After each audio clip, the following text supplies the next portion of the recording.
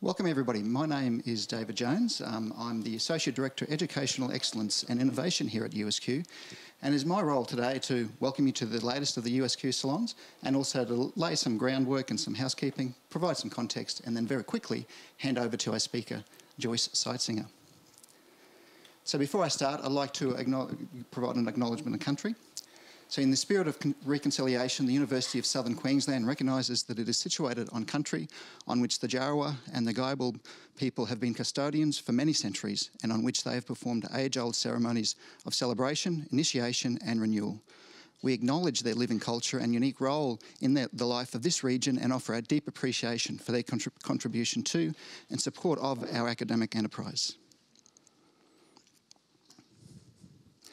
So in terms of the more prosaic housekeeping idea, please make sure your mobile phones are on silent.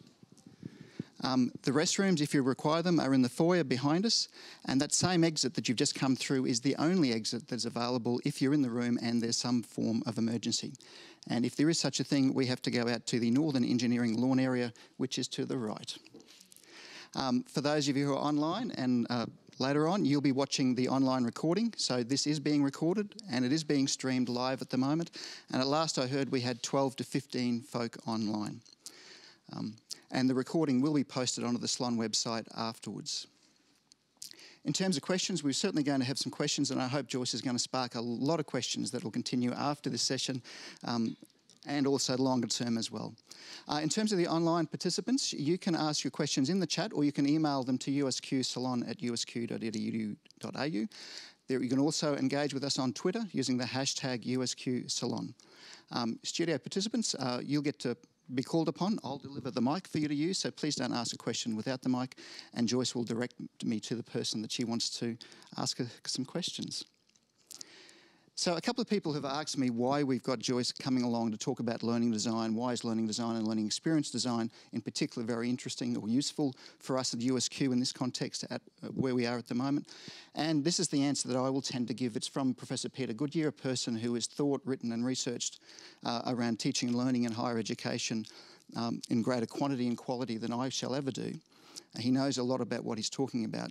And in this particular HERDSA review, article, he, he, uh, he talks about teaching as design and explains how actually conceptualizing teaching as design is actually a, the major way we have at the moment within our grasp as teachers to actually respond to a lot of the pressures and forces that are radically changing what's happening in higher education and making the learning and teaching process actually a lot harder than it used to be when I started 30 years ago. So that's the primary reason that I think learning design, learning experience design can help. But also, even more importantly for folk where I work at the moment, is that I think it's important for universities to find ways by which we can help our teaching staff engage in teach learning design, learning experience design, because we need to help them get into that realm as well, because in the end, that's how we're going to provide better experiences for our students. And I hope Joyce is going to help us answer a lot of those questions and give us some advice on that. Um, so in terms of introducing Joyce, um, I've known Joyce for almost 10 years. I checked last night, Joyce, you were the 69th person I followed on Twitter. uh, Nona, who isn't here, was the first. So um, that, that, to me, that says about two, late 2007, early 2008. Um, at that stage, we were a group of Australasian ed tech folk who were getting onto this unique, funny thing called social media and Twitter and blogs. And I think we engage a lot via blogs. I think I probably came to you via Mark, who I, knew first on, on, on there.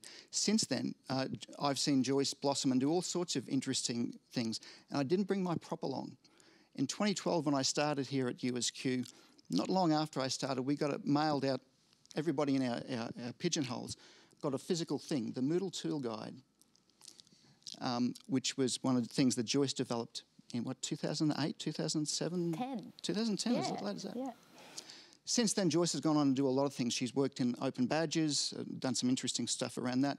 More recently, over the last few years, she's been working in learning experience design nationally and internationally.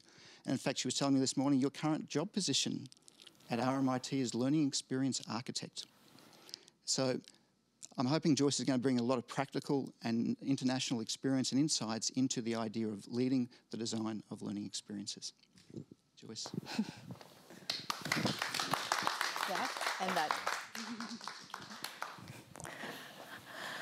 Okay, well, good morning, everyone, and thank you, David, for that lovely introduction. And what's even more exciting is that um, we actually get to hang out each other with each other, not on Twitter and not in like stolen moments at various conferences, but we actually have two days.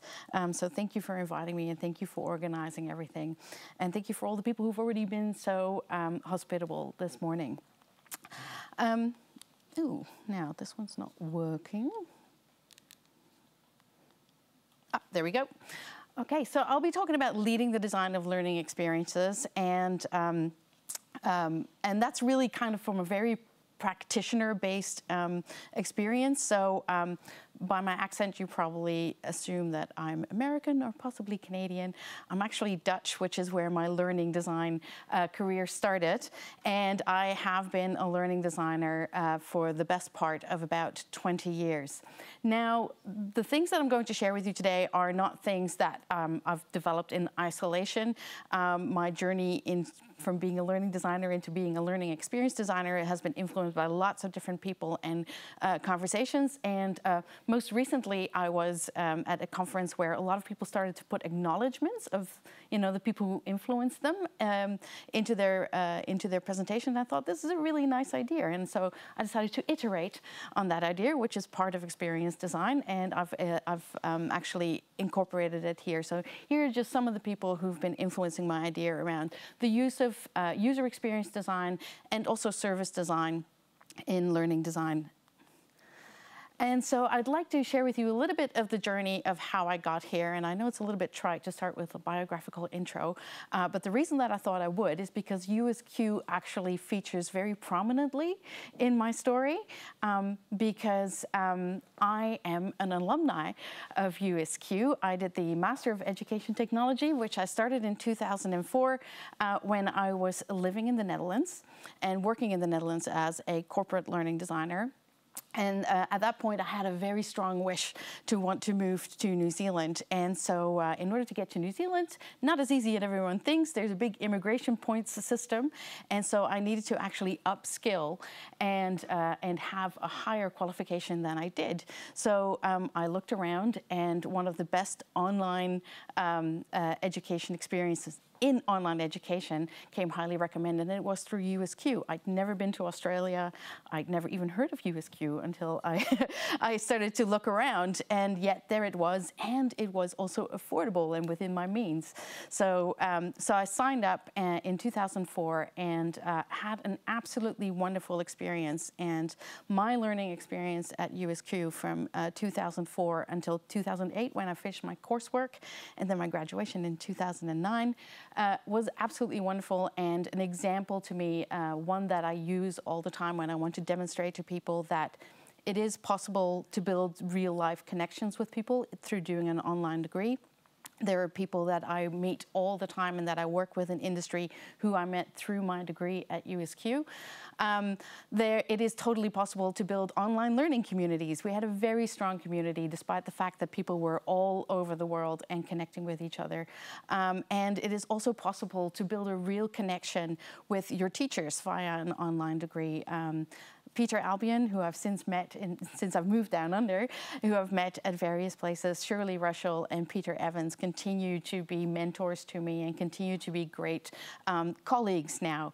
So, um, so USQ was a very important part of, of shaping the way that I thought about the possibility of online experiences. So I, I started in the Netherlands corporate training, did got some way towards my degree in USQ, and then I moved to uh, New Zealand as in part because I started to, you know, have extra experience and be able to actually show that I had what it took to to move into this. Um, into this uh, new space and move into education. So when I moved to New Zealand, I started to work at a polytechnic uh, in uh, in New Zealand in the Hawke's Bay. Uh, I was there for five years as their um, e-learning advisor. And then after that, I moved to Australia where I worked at Deakin University for two years. So that was 2011 to 2013. And at that point, I started to get quite disillusioned uh, with e-learning because I felt that the kind of digital experiences that we were building were starting to be quite repetitive. When I started in the Netherlands working on WebCT, uh, a lot of the work that I did was helping teachers actually move some of their materials online. And that was in 1999. And so 14 years later, in 2013, I start at a new institution, and yet a lot of my work is still helping people move their materials online. And I was like, there's got to be better things. And at the same time, you know, I live, I now live in Melbourne. Uh, you know, there's all these startups and meetups, and people are doing exciting things and building exciting digital products. And I'm like, this is very frustrating. And I, at one point, and so that's nothing to do with Deakin because this was happening, you know, at every single institution that you would go to. Uh, but I just felt like, God, there's got to be more. Because I think, in a way, as learning designers, and I'm someone who's always worked in e-learning, we are designing digital experiences. And that's what we've been doing. We just haven't been calling them that. And so what I started to do in my uh, kind of like my, my, my, my, gripes and my irritation is I started to go to meetups and I started to volunteer at meetups as well because I was just looking for any other opportunity, not necessarily to, you know, actually thinking maybe education had had its time, I'd had my time there, maybe it was time for me to move on. And so I started to go to things like Startup Victoria and other types of meetups. And I, uh, I also wanted to kind of get connect with people in that community. So I started to uh, volunteer and say, look, I'll run your Twitter, account for the, for the event that you're running, or I will um, I will come along and help you get people signed in at the door, et cetera, because I just wanted to meet new people and kind of explore new opportunities that there would be for me. And so one of the things that I did uh, was I joined a hackathon. Uh, you know, you start on a Friday night, everybody pitches their ideas, and then you've got a full weekend to actually work on developing some kind of product. And during this hackathon, we actually designed a product that was going to match an academic with a possible publishing um, uh, opportunity. I thought that maybe there would be something in actually matching an academic with a good idea for you know a journal that they could publish in. Um, never went into production, but over that, um, you know, kind of 60 hours that we worked together with that team, there were two things that really happened for me. One was that I was astounded at just how much work we could get through with this tiny team. So there was myself and um, as kind of like the hustler. Uh, but we had two front-end developers who were actually building things for us, and we had a, um, a designer who would actually work with us to kind of show the product and kind of show its development. And, uh, and so the other thing that happened was that I actually got exposed to these magical creatures called user experience designers or UX designers. And these are people who are all about making sure that a product is actually going to meet your user needs. And, uh, and I was really engaged with what they were doing, but I was also really engaged with how they were doing it and the kind of methods and approaches that they were using in order to, you know, kind of collect the ideas from the team, uh, show it back to us, play it back to us, get us to the next iteration, uh, show us how our, how our ideas had actually changed, and also just like keep on moving us forward. And uh, what I've since realized is that UX is basically just like a subset of human-centered design. The idea that what you want to design is actually going to be fit for the humans that you're designing it for. And so you've got user experience designers, and since then I've also uh, uh kind of become familiar with service designers. And service designers are not just about designing services. That's not the distinction between those two. User experience designers usually focus on products and making the product better, whereas service designers tend to look at how your entire organization can improve all of the services and all of the products that it offers in order to improve uh, the experience of the users that you're trying to serve. So it's not just the difference between products and services, it's actually about how your organization can respond to your user needs. And, uh, and so I was fascinated with this, and it actually kind of relit my fire about e-learning and learning design. And, um, and I thought, I need to find out more about this, but I've left the university, so I'm now unemployed, and uh, and I haven't got a lot of money, so I, I can't go and do a Master of Design Futures, and um, I haven't got. Um, uh, you know, the time either. I need to be earning a living.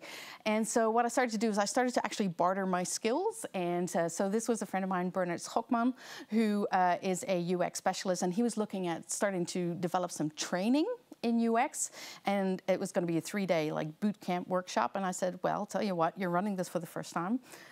I learned UX from you, and I will give you feedback on the learning design of your workshop. And so um, through that kind of bartering, I actually ended up getting, uh, getting a few more gigs and, and having the ability to kind of work with people on various products. Uh, and the reason that I wanted to do this was because I just realized that the kind of experiences that we build now with learning design, or the kind of experiences that we're being asked to design, are really complex and they have lots and lots of different moving parts.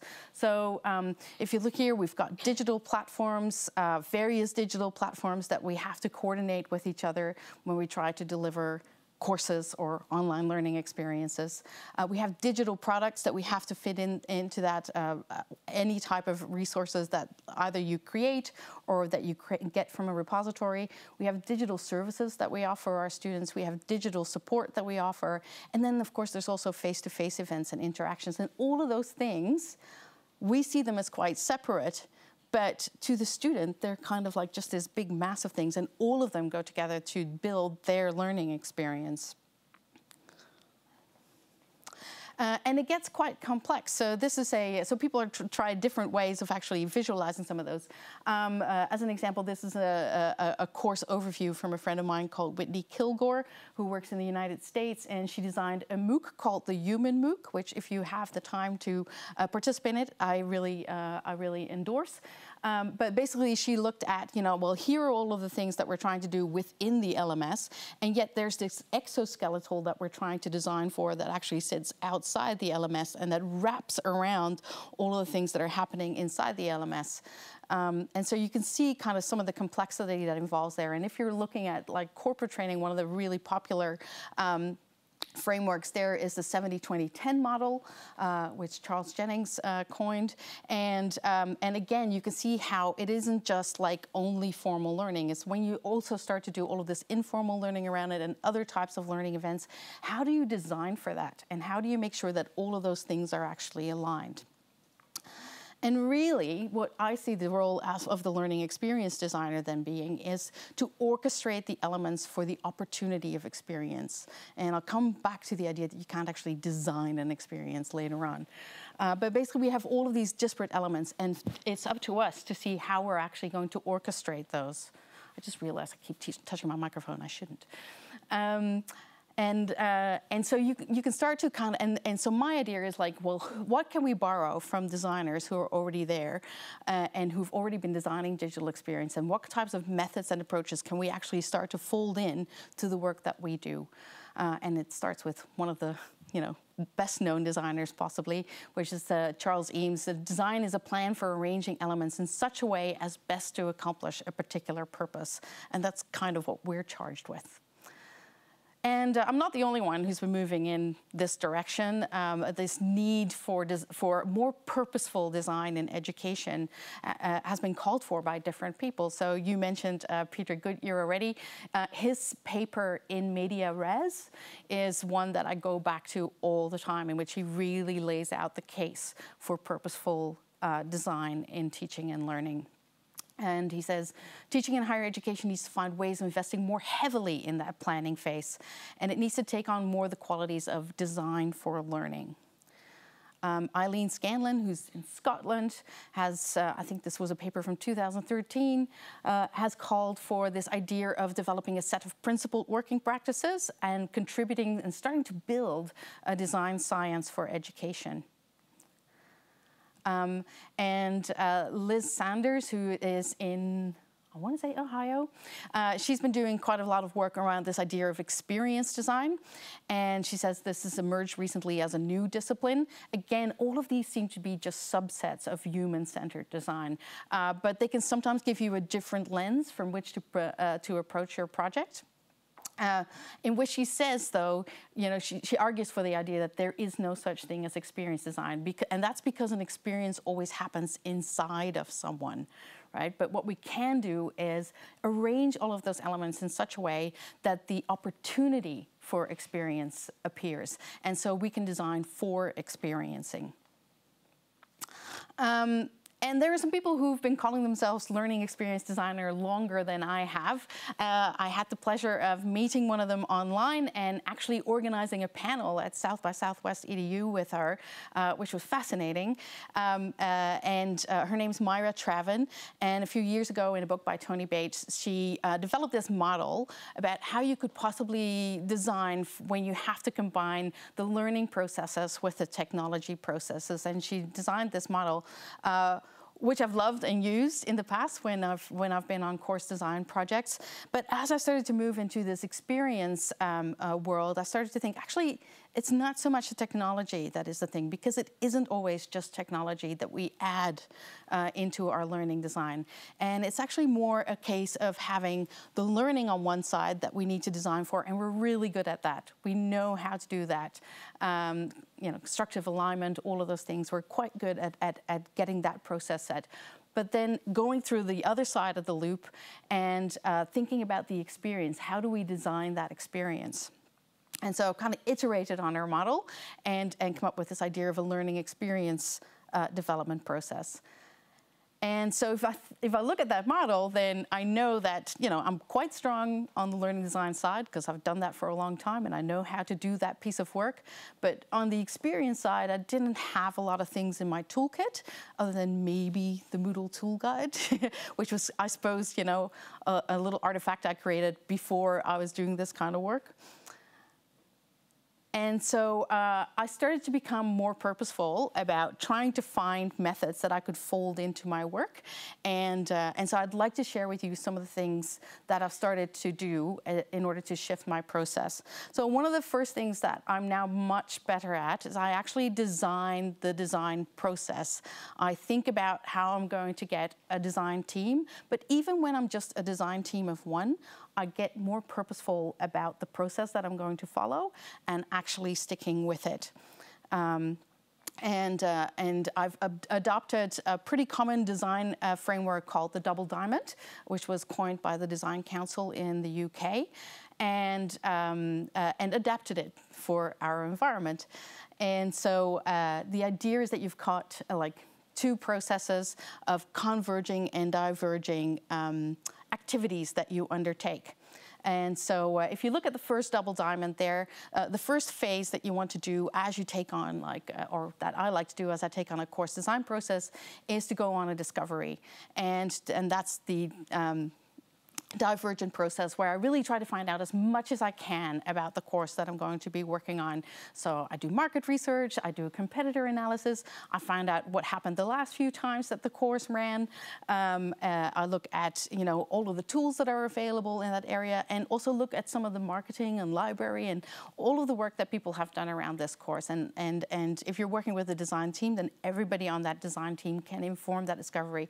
And the idea is not to jump to conclusions, and this is one of the things things that Peter, uh, to solutions, and this is one of the things that Peter Goodyear emphasizes as well in that paper that I mentioned, which is the idea that you don't want to, and this is something that learning designers always like to do because we, we think we know how to fix a problem, right? So you, you're in that discovery process, you're like, oh, you know, there's not a lot of communication in this course. We've got VoiceThread. We can just add VoiceThread and then we're good. And so you tend to kind of go from that first, uh, first part of the process straight to the solution. This is about kind of slowing all of that down and really doing all of your discovery first and then starting to kind of converge and try to pinpoint maybe three to five opportunities for improvement in that course. Because the idea is that we always want to build like the silver bullet of a course and you're, and you're not going to. But what you want to do is actually, you know, this process would get you to the point where you've got about three to five opportunities for improvement in that course. And then you choose the one that you're actually going to work on. You select it, and then you start, you know, that divergent process again.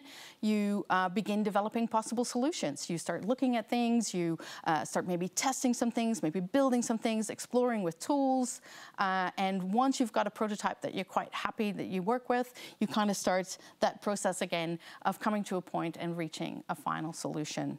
And um, what I like to do as I when I do work with a design team, but this is good practice even if you're just working by yourself, um, is to actually kind of design that work and not always use the same methods because different projects are going to require you to use different methods. And so when I'm designing with the team, uh, it's a good idea to actually like put up like the double diamond on a wall and just list with your team like what you need to find out and what method you're going to use to find to find that out. So if you're in the discovery phase, you say, all right, you know, we're going to do a competitor analysis. How much do we know about after that? Okay, what is another method that we can use in this discovery phase to find out the next bit that we need to find out? And um, if you haven't got, and as I didn't when I started to, to, do all this work, if you haven't got like that huge toolkit of methods to draw from, then uh, there are some really good resources around. And this is one of my favorite books for that. It's called Gamestorming.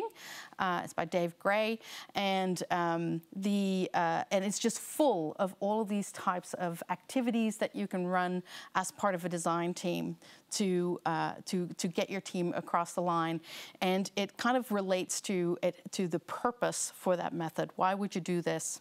Is it because you need to do some discovery? Is it because you actually need to get the whole team on board? And it's got different activities for different purposes.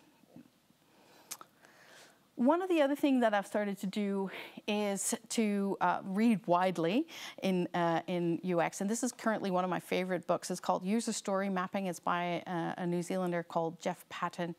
And he talks about this idea that shared document, the takeaway quote for me from that book so far is the that shared documents are not shared understanding. So quite often when we design a course, we've got all the learning outcomes, we've got the course guide written up, and we're like, well, if we've got that, then we know exactly how this course is going to run. And, um, and of course, that's not true because shared documents are not shared understanding. And the idea is of actually working together with other people in order to have that evocative experience that uh, gets you all to be on the same page and to have really articulated your ideas. And I went through this with someone last week, ended up having a one and a half hour conversation that I just could not leave because I knew that we didn't have a shared understanding. And we couldn't get there without, you know, sketching our ideas, you know, ripping out a page in the notebook saying, no, let's, let's go back to this because I'm pretty sure we're still not on the same page. And so what you want to do is you want to really dig into things and not let things go if you have the feeling that there isn't shared understanding. As the designer, you're actually quite often not the designer. You're quite often actually the facilitator of the design process. And so you become the guardian of the shared understanding. If you feel like there is a disconnect within your design team, or if you feel that there's a disconnect between, you know, a particular course design and the program design, then your job as the designer of that experience is to articulate that and make sure that everyone is on the same page. So you become the guardian of the shared understanding.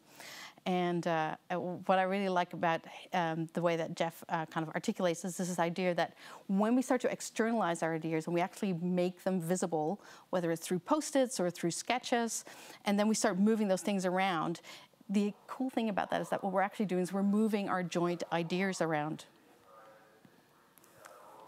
So you can't see or touch shared understanding, but usually you can feel it. You can feel it when you've finally gotten there.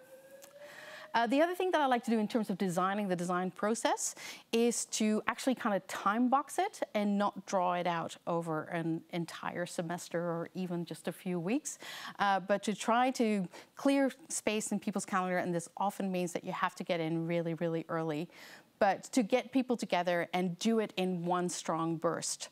Um, so this is an example from, um, uh, which you may have read, but it's, uh, the, the book is called Sprint. It was written by the guys that started Google Ventures. And uh, it's a very simple framework for uh, all of the things that you need to do in order to complete a five-day sprint. Now, clearing five days in everyone's calendar can be incredibly painful, but it is actually possible to follow this um, I've heard of people who've applied this at Telstra, even with getting some senior management people on board, uh, by taking the disparate activities that you need to take and stretching them out a little bit further. But it's a really good idea to just frame it as a sprint and make sure that everyone knows what the process is and what the product is that you want by the end of that week. And then the other bit that I do in terms of starting to design the design process is bring on board the users. so there's a new journal that has just started called Students as Partners, and there's a large conference that was recently held in Canada as well. But this idea of actually bringing in your students as partners to co-design uh, what the experience is actually going to look like uh, is increasing. And it's a, it's a great development because this is the only way that you're ever going to uh, improve the experiences if, if you actually start including your stakeholders. Uh, last year we did a project uh, where we looked at seven programs and taking a new uh, a way of doing program innovation. And we kicked it off with doing user research with our students. So we actually did uh, user interviews um, and, um, and designed uh, persona and user stories that we had available for when we did the large en masse co-design workshop. And we also invited the industry stakeholders and students uh, to come to those workshops. And it was incredibly challenging. It was really challenging. People were very worried about what people were going to say. You know, they're going to see our dirty laundry. Um, but you know, if you can break through that, then there's actually the opportunity for uh, getting some much more robust ideas for innovation um, because you're facilitating the conversation between all these people and gathering all of their ideas together at the same time at the moment of genesis, uh, rather than going to industry partners um, after you've already kind of designed what the innovation is going to be and say, do you like it or not? Uh, there's much less opportunity for feedback and for really improvement at that stage than there is at the beginning of that process. And so it really becomes your job as a facilitator of the design process to design those conversations and be quite purposeful about that. And I've designed any number of artifacts to help me do that. Um, and again, steal like an artist. Um, you know, I have been borrowing liberally from um, service design, from UX, and from uh, customer experience. So this is an example where I've taken a customer experience tool and I've adapted it to have an LX conversation with people. Uh, uh, talked about it as the LX pyramid and this idea that what we really want to do is to stop focusing on tasks that we want uh, students to engage in and to lift our, our, our eyes and, and try to get people to start focusing on experiences. And basically, this became a tool to actually have the conversation with people. If you look at your course design, where do you think most of the elements in that sit? Are they sitting at the functional level? Are they sitting at the reliable level? Or do you manage to cross over the convenient line, which is quite often very hard to get across? Um, and do you even get like to the top level anywhere? And again, not trying to design a silver bullet, but you can always say, well, the way that we do the discussion forums really is below par.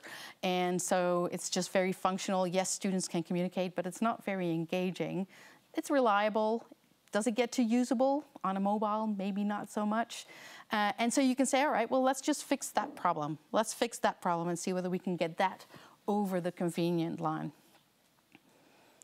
Um, and they're, like I said, they're great models to borrow from. I would love to have find a little bit of time in order to take this elements of value pyramid and start like really digging into that and think and think about how um, uh, we could apply some of these elements to um, to the way that we do learning design.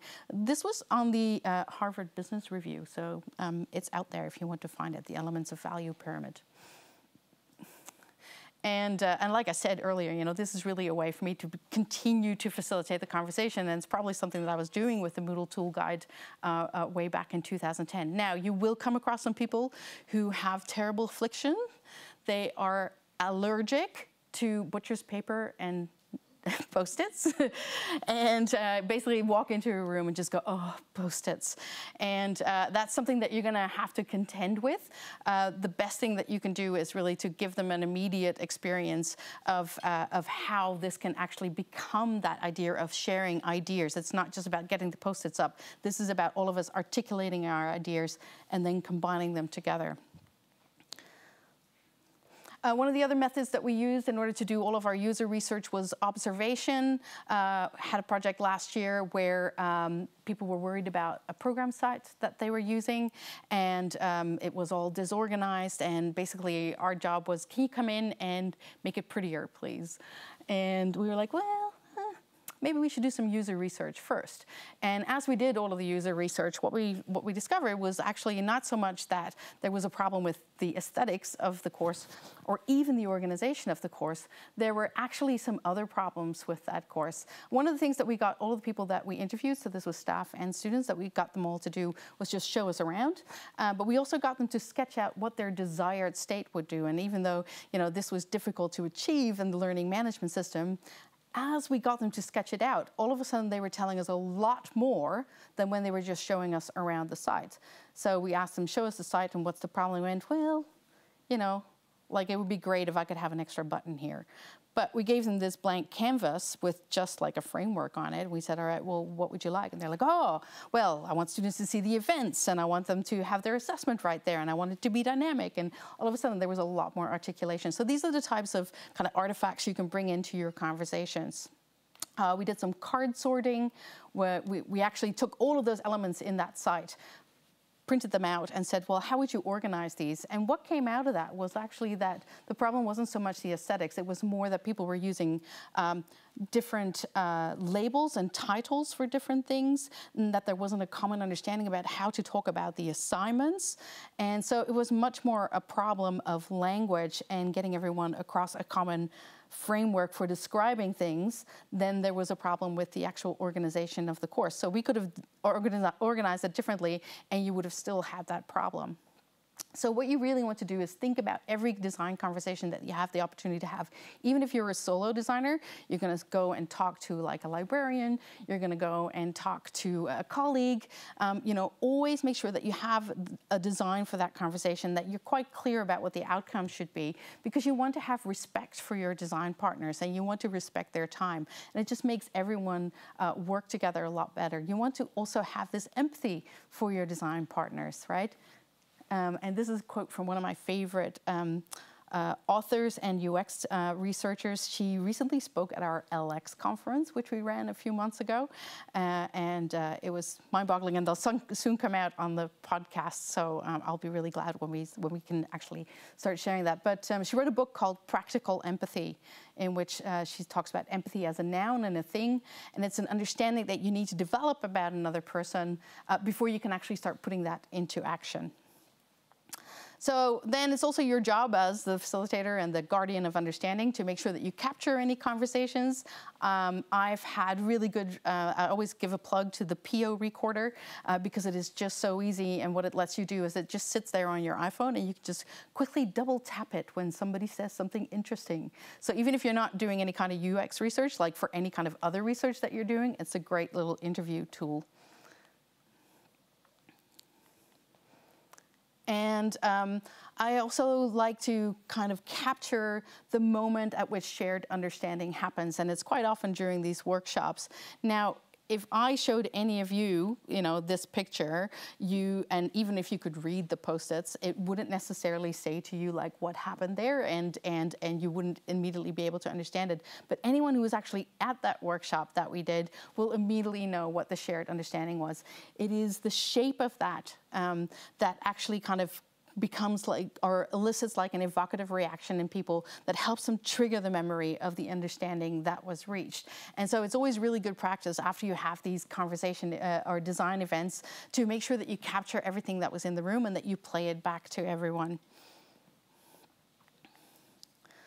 And, uh, and then usually there's a little bit of um, quite hard work in terms of also synthesizing those findings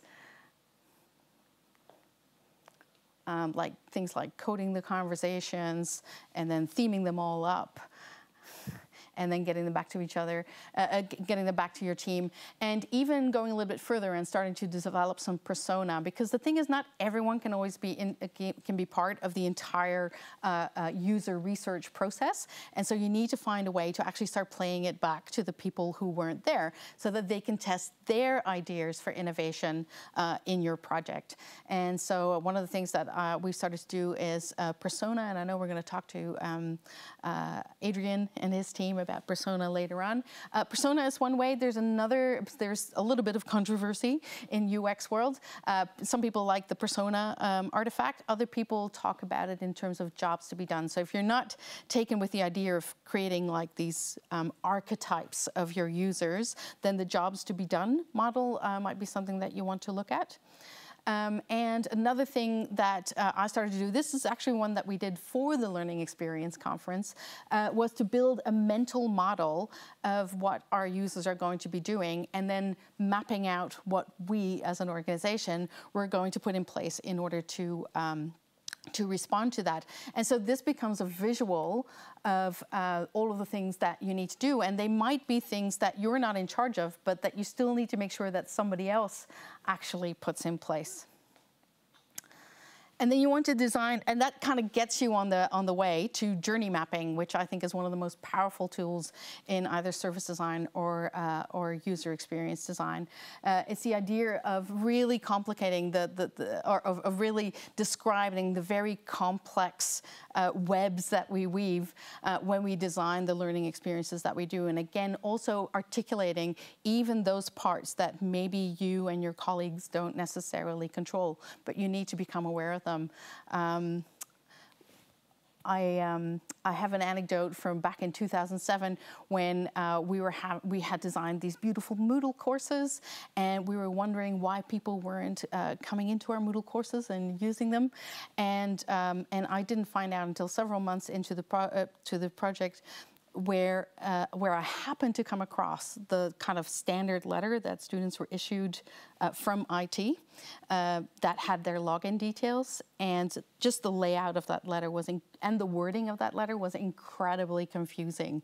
And so, like, there was our clue, right? It, there was this was the reason that people weren't going into our courses, um, but it hadn't been part of my pro project to map out that front end of the entire learning experiences. And so I, I didn't know about it and I couldn't influence it. So doing the work of journey mapping actually helps you to start to align all of those different elements and all of the things that you need to put in place. Um, this is an example from a graduate project actually called Keeping Graduates Green, and it's all about a sustainability uh, service on campus. Uh, but what you see is that the, um, the yellow bar there is the uh, user journey and all of the steps that the user takes. And then um, this is actually a, a service design blueprint. And so it breaks things down then into front stage and backstage. Front stage are all of the things that your user would see. So in our case, our student, you know, all of the front facing things. And the backstage are the things that still need to happen, but that the student might not be aware of is, is actually happening. Um, and then it also forces you to actually articulate every single artifact that you need to create in order uh, for that process to work. So it's a very, uh, it seems very simple, but you know, if you're doing a service design blueprint really well, it could span an entire room. And uh, so we, we did our attempt, but at a very small level. Um, uh, and, and it doesn't have to be big always, uh, but we did an initial three hour mapping session then continue to work on it by putting it into Google. And so this, again, this is your job as the facilitator. It's to make sure that it all becomes digitally um, uh, available to your entire team. And then we work together with our graphic designer to actually create a final learning map, uh, a learner journey map. And it, that doing the process of that map actually helped us to uh, find out where the blockages were and where we could make some improvements and we'll share the slides with everyone um, so that people can uh, look at that. But some of the pain points that we found were actually not on the student end, it was actually with the teacher end who was just being completely inundated with emails and trying to run this work experience project and uh, some simple tools would solve her problems. So you really want to prompt different ways of thinking and some of the ways that you can do that is by forcing people to use methods that wouldn't normally be in their comfort zone. So um, I like to get people to sketch. So if you're coming to the workshop tomorrow, you can be prepared for that. and uh, I also like to put time limits on things so that people don't go overthink it and get really defensive about their ideas. Uh, but both of those things can really help you to kind of like break through a difficult point in the conversation. Uh, and I love the idea of sacrificial ideas, of just getting people to just generate ideas and not get too attached to them yet. And so one of the things that we'll be doing tomorrow as well is just like generating a whole bunch of ideas, but then getting the whole group to prioritize which ones they think are valuable and which ones they want to work on and then create artifacts for support. What can you do in order to actually visualize uh, where the design is at and, um, and play it back to the team? And validating the ideas. You know, once the ideas are there, uh, put a little bit of business sense around it. So we like to use a lean cam canvas to actually test those ideas and, uh, and, and display them to other people and do some user testing. Um, through paper prototyping and not getting too invested in building out an entire digital solution before you actually know that it's going to appeal. So, and I have found that this is absolutely true. Getting a prototype in front of people just breaks through a lot of barriers and immediately shows it where you could have gone round and round in a conversation for several meetings. So um, one warning, um, if you become a learning experience designer, for me, it has come with a card addiction. There are many, many card decks out there that can help you do some of the design. And um, so, uh, so you might get drawn into that particular rabbit hole as I have. Uh, this is one that's freely available from JISC. They designed this ages ago. It's called the Design Studio, and it's a way of uh, doing uh, either program or uh, course design. Uh, Grainne Conole was involved uh, in, in developing that, and you can download it and uh, even adjust it for your own purposes. And I've started to develop one as well because I just love cards so much. So I've started to develop one that I can use in workshops that I run. And you really want to hone your facilitation skills. I was really lucky way back when in, in the Netherlands, I, uh, I was able to do corporate training and become a facilitator. They sent me on a three day facilitation course at a convent in Brussels.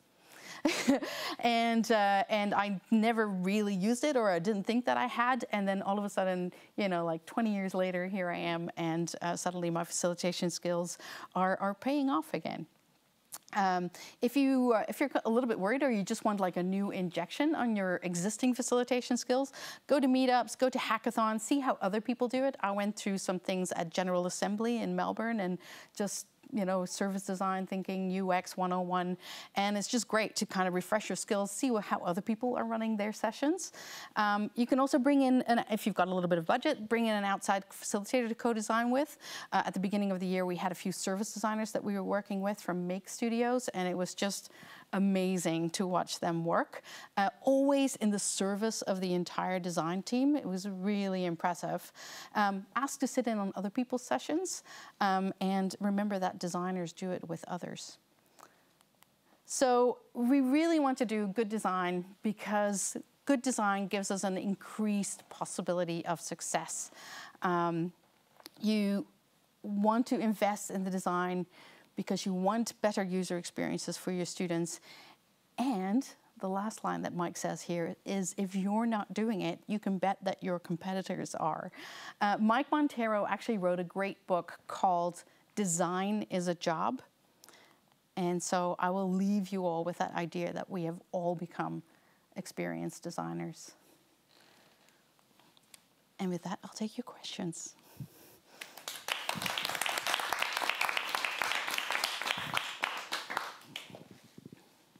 We'll start at the back, because those were my instructions. people wow. the live stream. Uh, so Alice would like to know whether you have a template that helps us capture the student learning journey or if there's an app. Yeah, there are loads of apps. Um, there are apps for the iPad and um, and there are apps for your iPhone. And there are lots of templates. If you do a search for either journey mapping or for uh, service design toolkits, um, there's, like I said, you know, steal like an artist. You can just find all of this stuff online. Um, uh, I've got some that I use, uh, but you know, I can tweet them out later. Um, the app thing, though, can be quite problematic because um, journey maps can get like and can get so complicated. Um, uh, try, I try to do one on an iPad, but once you go beyond a few different uh, user activities, it actually starts to become unwieldy. And really, the best way, and in order to get the best buy-in, is always to actually just start with a paper version. So find what I like to call a war room, but that's probably not a nice name for it. But find a project room that you can set up, and find a dedicated space where you can put up your papers and keep moving things around and have it kind of in your face all the time, because that also allows you the opportunity of actually bringing people into the design process. And uh, really, the nice shiny, which we had with our graphic designer, which looks great, at the point that you show that to someone, they, a stakeholder or a user, they feel like the decisions have already been made. They feel like it's a finished product and they can't contribute to it anymore. And so the longer you can keep it like analog and paper-based, the better actually. Yeah. Thank you. Uh, First, thank, oh, sorry. Oh, Uh, Thank you, no, no, thank you very much for your overview of uh, the design approaches that, that, you- that you work with and uh, have been part of developing. Uh, Lots of it, of course, points back to, or is, is part of sort of like the agile discussion and so on. You've done a really nice job pointing out some techniques and methods. I'm wondering if there are one or two principles that sit underneath your thinking as you're engaging that you could share with us as well. Yeah, I think I think to me it really comes back about that empathy for the user, and um, realizing that um, basically in my in most of my career I've been the advocate for the user and, and but never really articulated it that way. And then at the same time I was a poor advocate for the user because I was. Um, uh, because I usually base my understanding of the user um, uh, on very little data. Because uh, I would go into a meeting with a subject matter expert and I would say, So, how do you usually run this course? You know, do you think your students will like this? Do you think your students will like that? And so I was kind of getting a vicarious understanding of the users. And so really starting to say, no, the empathy for the user has to come first. And that's kind of been my journey for the last two years, saying, no, I really need to understand who that user is and how they are using our product. I think that really underlies, uh, underlies a lot of the work that I've been doing and a lot of the shift that's come in my work. And then the other thing is understanding that the user is not necessarily always the learner, but it's actually also the people who are involved in the other aspects of the learning process and saying, yes, you know, the librarians are part of it and uh, the people in student admin are part of the experience and the teacher and the tutor and the markers, everyone is part of that experience and needs to be served through the experience that we actually design. So I would say if there's anything, it would be that empathy for the user.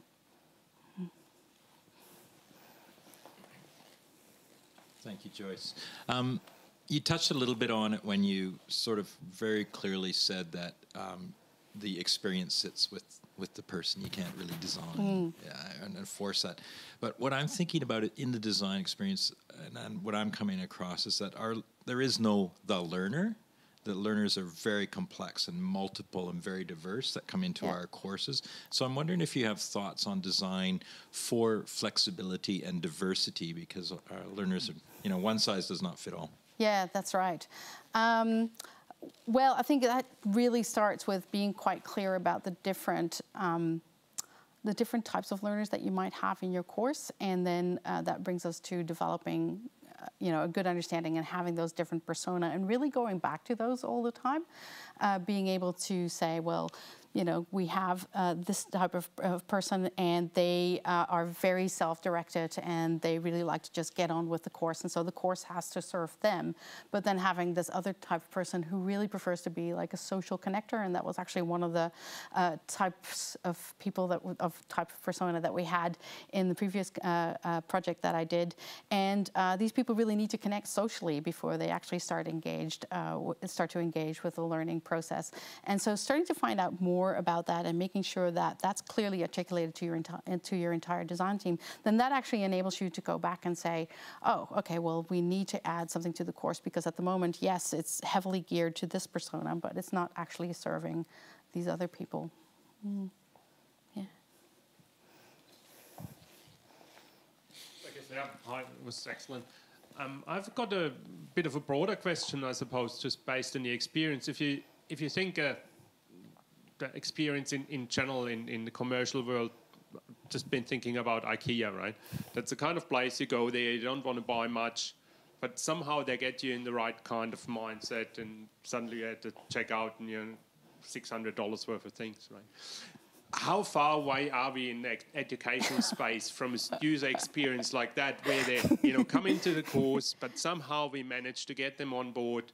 In the end, you know, they learned a lot and they didn't expect it to learn. Yeah. Uh, the IKEA model for education. I like that. Um, well, I would say there are some people who are doing that really well already. Um, so I, I am subscribed to a site called Skillshare. And Skillshare is a subscription site, and uh, it focuses mostly on um, design skills, business skills and a lot of craft skills. And they've got these short video-based um, uh, uh, courses that are always accompanied by a project that you work on. Um, but there isn't a lot of feedback within that. It's just self-directed. You just follow the, the lead from the expert who's designed the course, and then uh, you do the project or you don't. You know, they don't make you do the project. Um, and um, I pay a subscription fee for that, and you know I browse there. Uh, but there are months go by where I pay the fee and I don't actually participate. But whenever I go there, all of a sudden I'm like, oh, actually, yeah, I, I would like to do that. Hand lettering, didn't even know what it was five minutes ago, but now I totally want to learn what that is. So I think there are some people who are moving in that direction, um, but. Um, so there's two questions then. Is that a model that we should be searching for? uh, or does it just get too wide and too purposeless?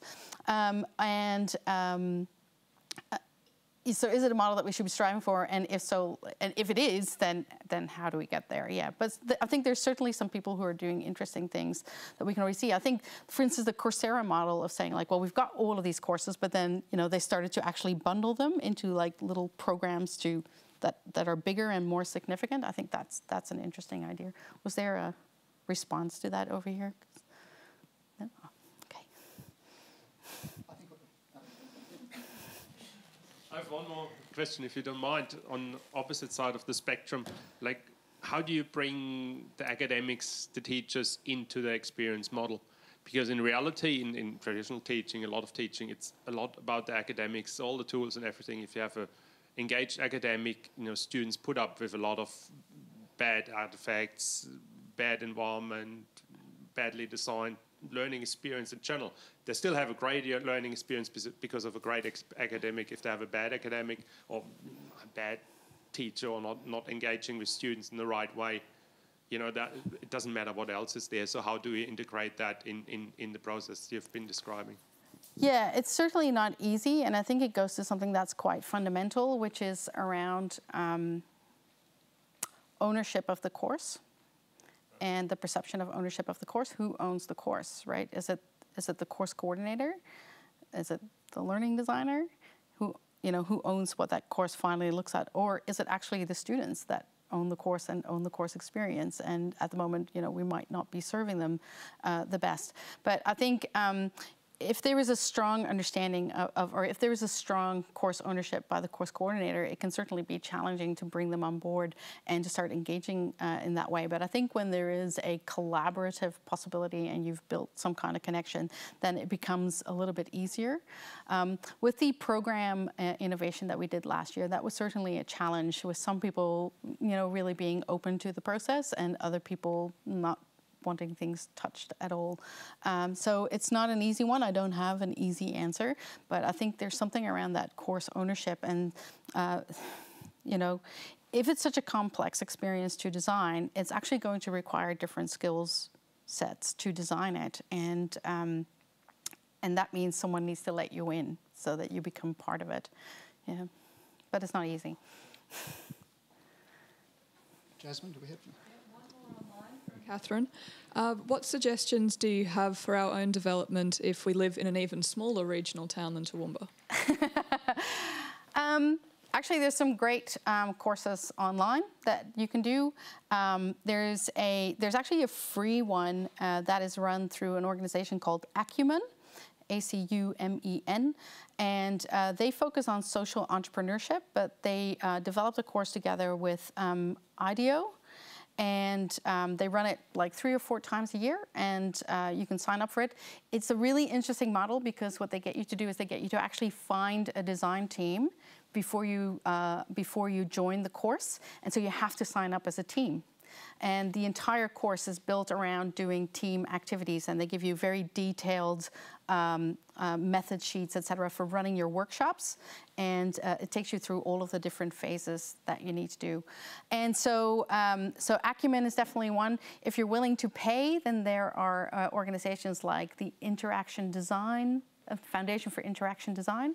And also, um, IDEO has actually started its own university, well, university, that they, that they call IDEO U. So um, that's, uh, and they do fully online courses, so you can sign up for those as well. There's literally lots of places where you can upskill yourself if you have to do it online. But I really recommend the Acumen model because uh, it's about five to six weeks and it forces you to meet up with your friends and, or your team and actually do something together. And one of you becomes responsible as a facilitator, so it gets you into good habits as well. Yeah. Thank you, everybody who's here. Thank you for those online. Uh, and lastly, can we just express our thanks to Joyce once again?